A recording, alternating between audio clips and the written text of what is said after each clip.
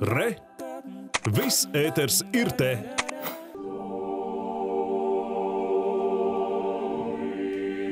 Viens no koncerta gaisma autoriem, komponists Pēters Vasks, savas izjūtas par gaismu ierakstījis darbā Aktus Caritātis. Tā ir tradicionāla katoļu lūkšana, kuras pamatā ir teksts no Mateja evaņģēlī.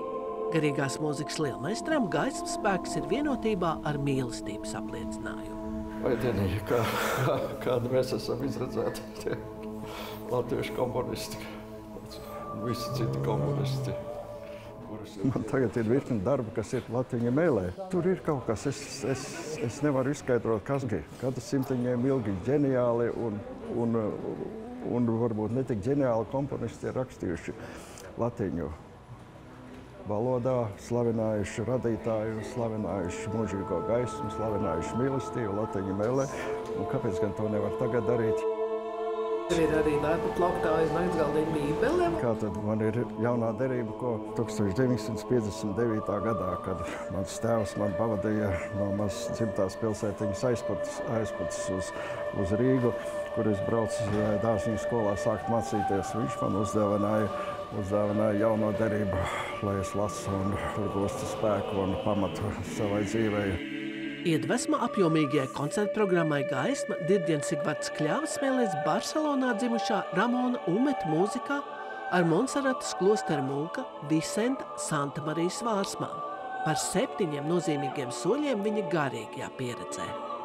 Šis katalāniešu mūks, ejot pie dieva, piedāvā meklēt gaismu sevi un to darot klusējot, klusumā un runājot vai uzdodot sev klusējošus jautājumus, sameklēt savu iekšējo gaismu.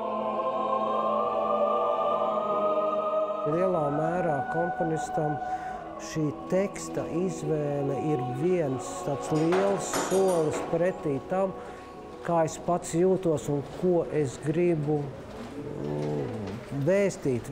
Koncerts gaisma būs bagāts ar dažādu komponistu - Gedimīna, Karlsona, Malkena, Momotenko, Ratnīcas, Stīvriņas, Umeta un Vaska darbu pirmatskaņojumiem. Un katram no viņiem tika dota ierosme atbildēt, kas ir tava gaisma.